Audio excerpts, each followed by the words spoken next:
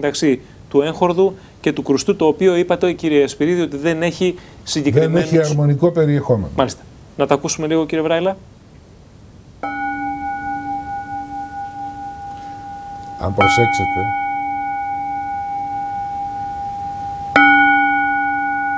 μας το προδίδει η παλμικότητά του.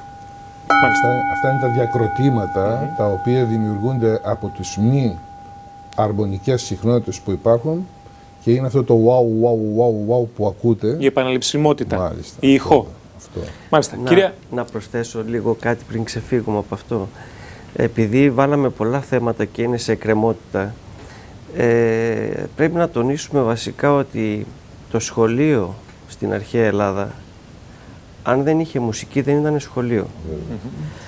Δηλαδή, ο άνθρωπος για να μπορέσει να μάθει μουσική έπρεπε να ξέρει μαθηματικά. Τα μαθηματικά με τη μουσική είχαν άμεση σχέση.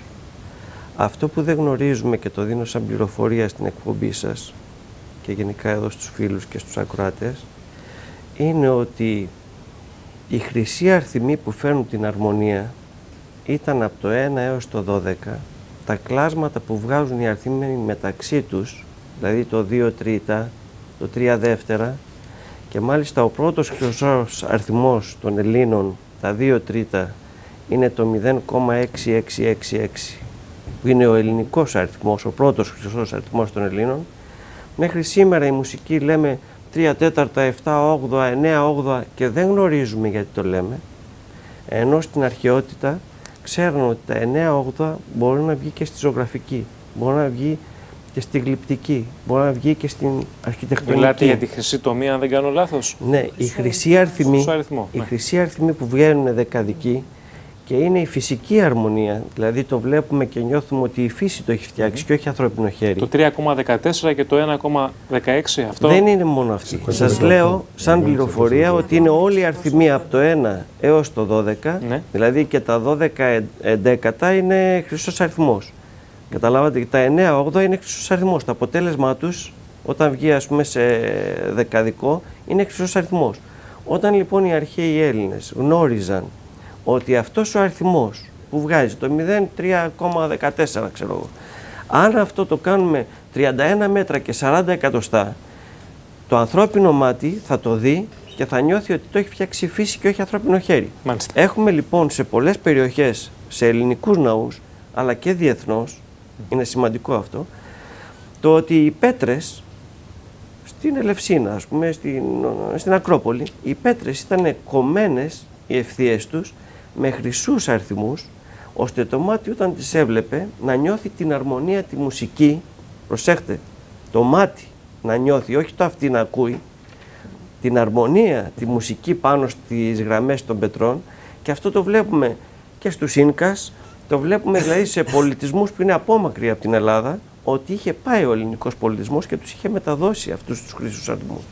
Αυτό ήθελα να πω, τίποτα. Πολύ ενδιαφέρον αυτό το οποίο λέτε. Ε, ωστόσο, θέλω, κυρία Ελάτσινου, μετά από όσα ακούστηκαν, και είναι πολλά ας πούμε, ζητήματα, Να τοποθετηθώ λίγο σε, σε, σε ένα να από το τοποθετηθείτε, καθένα. Σε ένα από να το σας καθένα. θέσω βεβαίως και ένα ερώτημα το οποίο θέλω.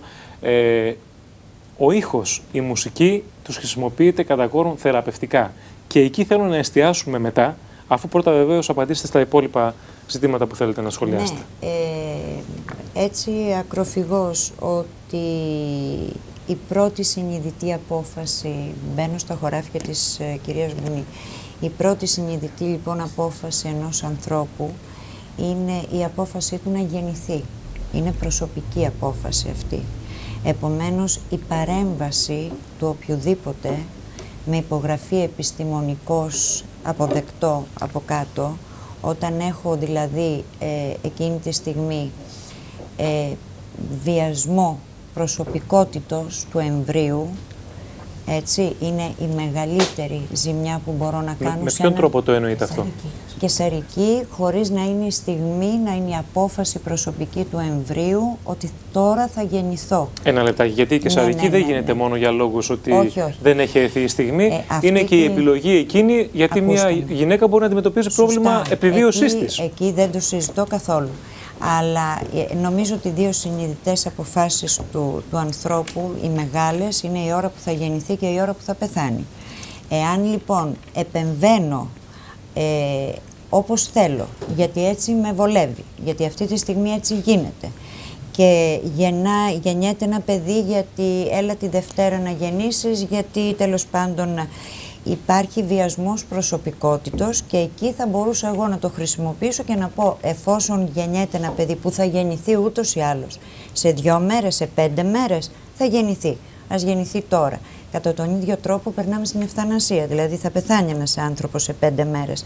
Γιατί να περιμένω πέντε μέρες να το κάνω τώρα; Μάλιστα. Καλά. Είναι, είναι ένα κομμάτι βιοειθική, να το πούμε. Ναι. Αλλά αυτή τη στιγμή αλλού εστιάζουμε. Ναι. Ε, λοιπόν, λέω το εξής. Ακούσαμε τις διαφοροποιήσεις, τις τοποθετήσεις του κ. Σπύρη, του κ. Καραβασίλη για την μουσική. Και σας ρωτάω, πώς λοιπόν η μουσική γίνεται ένα εργαλείο βασικό για την θεραπεία, για την αποθεραπεία καταστάσεων και πολύ περισσότερο σε άτομα τα οποία έχουν νοητική υστέρηση; Καταρχήν να σας πω ότι εγώ τον όρο μουσικοθεραπεία τον θεωρώ αδόκιμο.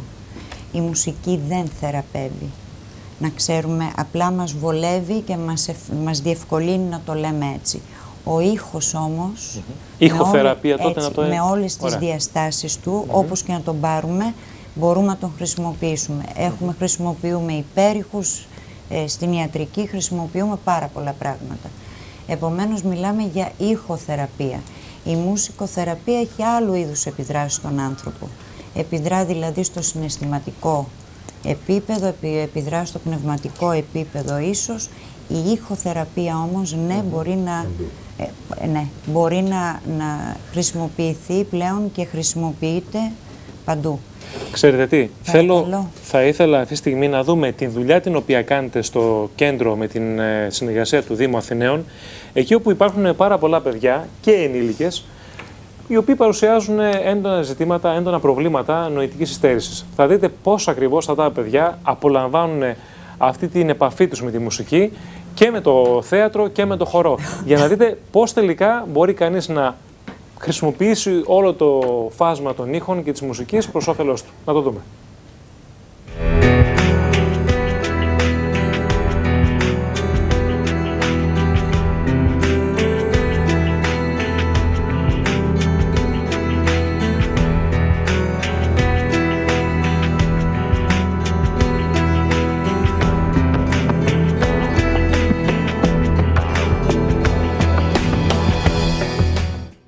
17 χρόνια τώρα είναι μια οικογένεια. Η Σοφία, η Ελένη και ο Εδουάρδος κάθε απόγευμα είναι εδώ, παρόντες, να διδάξουν σε αυτά τα παιδιά την μαγεία της τέχνης. Μουσική, θέατρο, χορός και οι τρεις τέχνες στην υπηρεσία της θεραπείας, της γαλήνης, της ψυχής και του νου. Η Βασιλικούλα, η Λίδα, ο Κωνσταντίνος, ο Στέλιος, ο Νικήτας, ο Θέμης, η Τασία, η Σοφία ο μαέστρος ο Μιλτιάδης και τόσοι άλλοι στο πολιτιστικό κέντρο του Δήμου Αθηναίων στην καρδιά της Αθήνας, σε μια δύσκολη γειτονιά όπως είναι τα Εξάρχεια, αποτελούν την σπίθα της ζωής. Μια ζωής δύσκολης μεν, αλλά απόλυτα αληθινής και ελπιδοφόρας.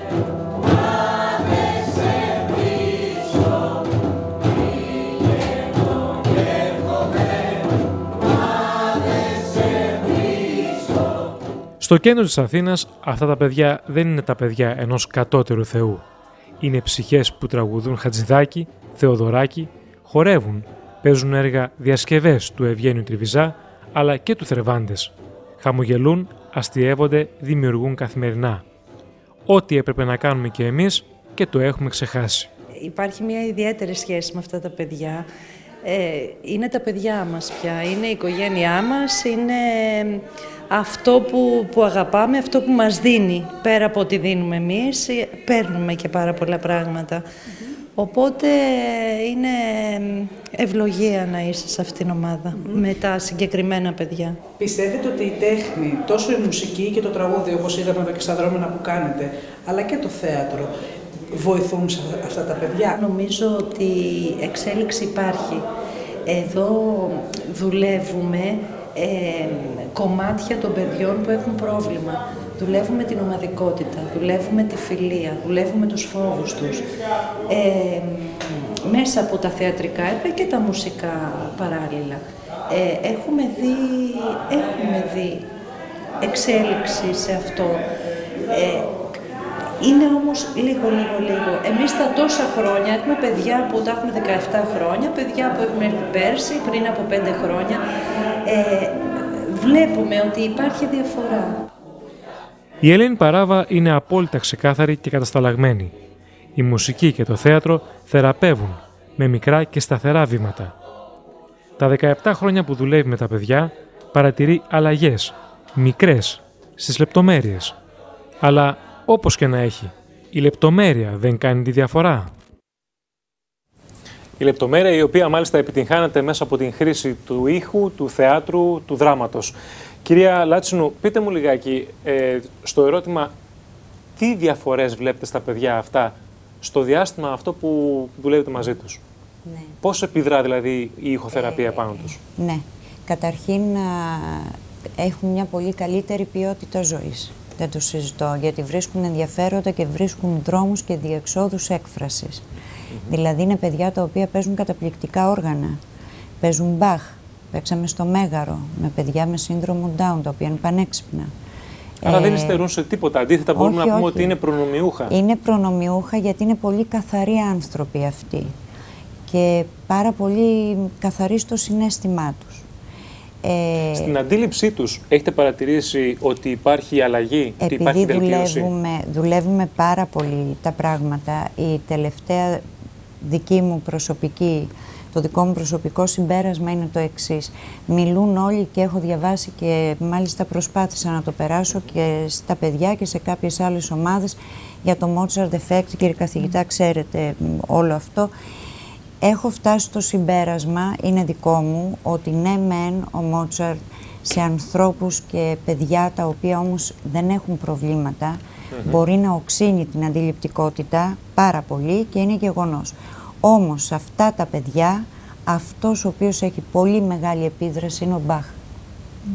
Είναι χαρακτηριστικό Είναι δηλαδή το χαρακτηριστικό. γεγονός ότι προέρχεται από έναν άνθρωπο Σας- που είχε πρόβλημα; Α, όχι, Ο- δεν συγγνώμη, Μότσαρτ νομίζω. ήταν που όχι, ήταν, όχι, όχι. Δεν, ο, ο Μπετόβεν είχε πρόβλημα, αλλά δεν είναι εκεί.